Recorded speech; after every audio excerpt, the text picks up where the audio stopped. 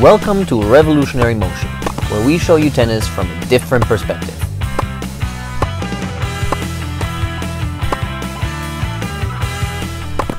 Have you ever wondered why some people tend to hit a lot of aces and others don't? Well, it usually comes down to just one simple answer. Those kinds of people that hit aces actually practice to hit aces. Now, how do you do that? That's very simple as well. You got to have a target in mind all the time, and you got to make sure that you hit your serves as hard as you can when you practice. Now, those two things seem a bit scary to a lot of people because most people just think about putting the ball inside the court. That's their number one priority. And while that obviously starts you the point and you know keeps you away from unnecessary double faults, it also keeps you away from practicing precision and practicing actually winning the point off of your serve. Now in order to practice that properly, this is the first change you have to make. You have to get yourself in a mental state of actually wanting to finish off the point with the first shot already rather than being satisfied with having a defensive re uh, response from your opponent. So it's very important that you set your standards high for this. Otherwise, you will not be able to hit aces in the long run. As you can see, we set up a couple of cones here. Two over here, two over there. Now, contrary to what most coaches do and what most players practice, you're not trying to aim at the cones, okay? You're trying to use the cones to create a zone for yourself that you're aiming for. So in this case, you see these two cones, they're pretty close to the sideline here, okay? You can imagine this zone between the single sideline and the cones, okay? Imagine there's a line going through the cones, the triangular zone. That is your zone that you're aiming for when you're trying to hit an ace out wide. Now why are the cones so close to the line? If I put the cones here, for example, it would still be an out wide serve, but you could hit your target and the opponent would still reach the ball relatively easily, okay? So that's a big problem. Since you're trying to practice for aces, you got to make sure that you put your cones close to the sidelines so you give it a good angle on that serve because everybody knows the out wide serve is a slower serve than down the T serve. So that means you have to have a better angle further away from your opponent to actually cause an ace to happen. Now if we're taking a look at the T-serve here, I did the same thing, okay? We have two cones here which are parallel to the center line. And again, the spot here, the space here is very small. So you have a rectangular zone here that you're trying to aim for, okay? Ideally, you want the ball to go very close to the uh, center line here, okay? Serve over here could be enough for an ace, but it could not be depending on the level of your opponent and the speed of your serve, okay? So now, very important, whenever you practice and you want to work on hitting aces, these are the only targets you should hit. Okay, the body serve does not matter because the body serve is a serve that will never give you an ace. Now obviously the same exact thing applies to the ad side here. You can see the cones out wide again, okay, and here the cones down the T. The main difference here though is that every serve that you would hit from the deuce side out wide, where you're using that slice, can now be applied to the T serve, okay, the serve that bounces over here from the ad side. And the flat serve that would go down the T from the deuce side is the flat serve that would go out wide from the ad side, okay? So very important, adjust your stance accordingly so you can use the same type of serves to reach those two targets that give you an ace. Now looking at it from this side, you can see how little space you really have putting up the zones like this, okay? That's what makes it a little bit difficult because it feels like it's almost impossible to get the ball into those zones on a consistent basis. But if you don't practice it, it will never happen. The good thing is that you don't need to put 100% of your serves into those zones because it's good enough if you put 60-70% of your balls in there at a high speed. That's actually very, very high level. Most ATP players, for those of you who watch tennis out there, do not have a first serve percentage of higher than 65% if they are players that actually hit aces. Okay? If you have a higher first serve percentage, around 70, 80, sometimes even 85%, that usually means that you give the first serve a lot more spin, a lot less power, and you're not working on precision as much as you are working on getting the ball to the backhand or to the forehand of your opponent in a position where you can then start a neutral baseline rally. But that's very counterproductive if you're actually thinking about hitting aces. Now one last thing, going back to the mental state I mentioned in the beginning. If you are happening in a match to hit a first serve far off of your target, let's say you're aiming for the T and the ball goes towards the body of your opponent and they don't return the serve, Most players are actually very happy about that because they won the point. They feel like their serve was good. The problem with that is you actually completely failed because you were so far off of your target.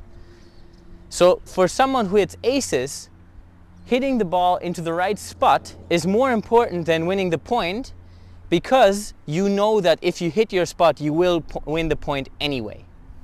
So it's a very important uh, mental change that you have to go through if you actually want to develop into a player that hits a lot of aces. Now I'm going to show you a quick exercise that you can do any day by yourself with just a basket of balls to work on hitting more aces by yourself.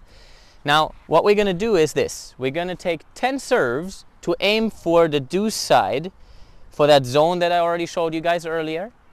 Then I'm going to take 10 serves to hit towards the out wide cone zone. And I'm going to do the same thing from the ad side. So that totals to 40 serves. And all I'm going to count is how many of those 40 serves do I actually put into the zone that I'm aiming for. Now ideally, I would get at least four or five into that zone. Even better if it was an ATP player, probably five, six, seven, right, depending on the day. Now, there's a couple of things you always have to account for, especially in the beginning. It wouldn't be too surprising if you had most put one out of the 10 serves into that zone. That's totally normal, but you got to stick with it and get closer and closer to the zones as you practice. Now, one more thing to consider is the conditions. So today we can see here there's a decent amount of wind. So it's actually a lot more difficult to get your serves into the spot that you're aiming for. Aside from that, are you actually practicing a lot or are you not? In my case, I haven't really been practicing a lot. So I expect myself to be at, at most be able to put two or three out of 10 into those zones. Now that doesn't reflect what it would be like if you actually hit a lot of aces in a match. In that case, you would need at least, as I mentioned, the five or six would be ideal to actually get enough aces or service winners out of your serve to have a substantial advantage in your service games. Now we're gonna start with 10 balls down the T from the deuce side.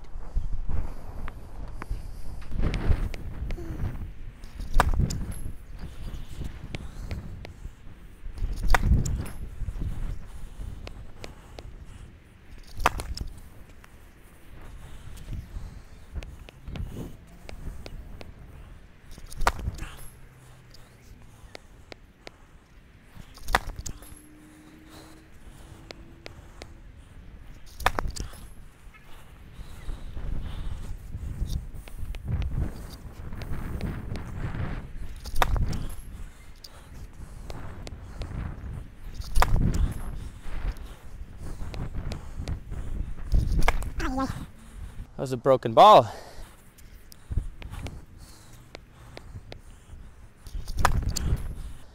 All right, now the serve's out wide.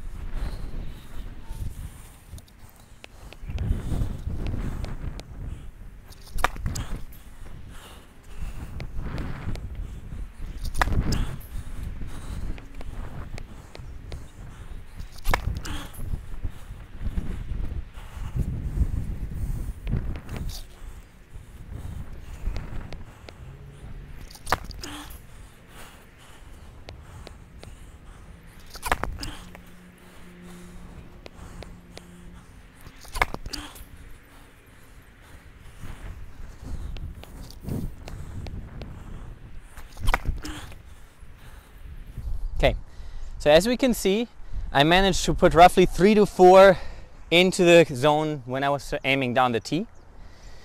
And I was able to put four into the zone when I went out wide. Now it's above my expectations to be honest, but it's still far from perfect if you're trying to rely on the serve a lot in your games. Now let's start with the ad side. I'm gonna start hitting out wide first.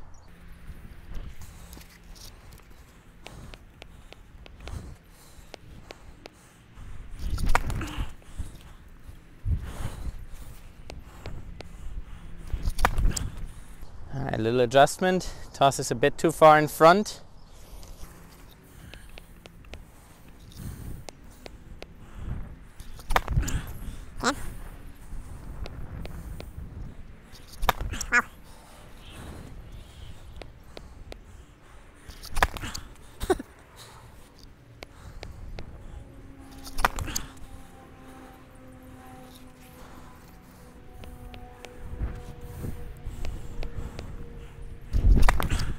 How to keep the toss better.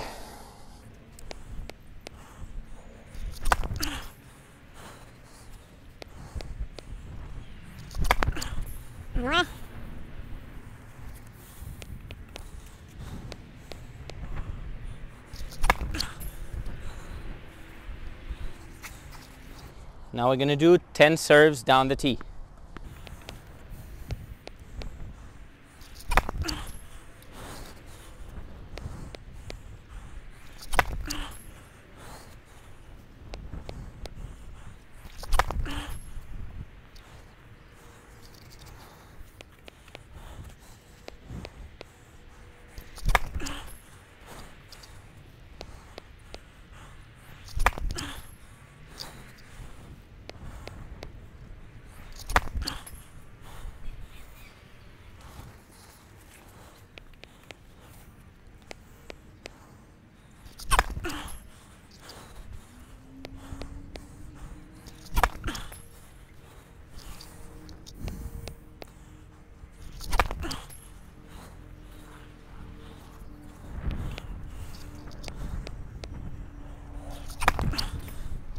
Let me retake that one.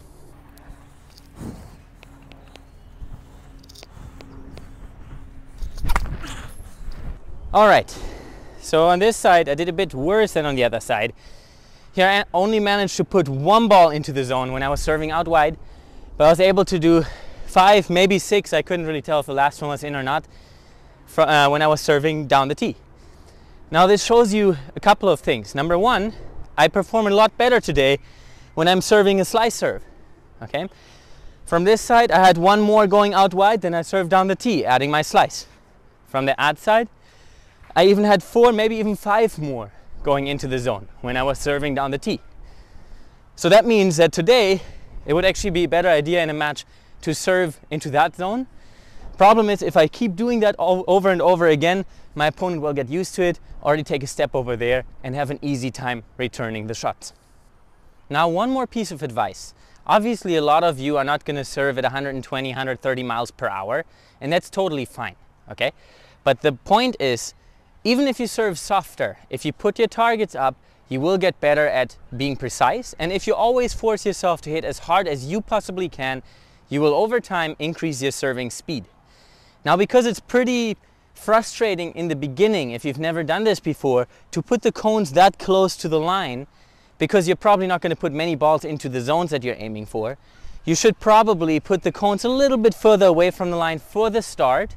And once you become a bit more comfortable hitting your balls into those zones, meaning you at least reach like three or four out of 10 with the bigger targets, that's when you're trying to start pushing your cones closer to the lines again in order to get more practice out of it because the further the cones are away from the line, the less likely you are to hit an ace if you put your shots into those zones.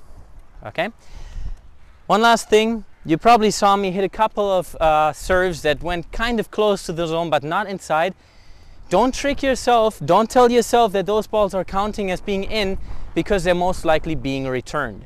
So it's very important that you're honest to yourself when you do these exercises so you learn how to really hit a good serve on a consistent basis to win your matches with more free points.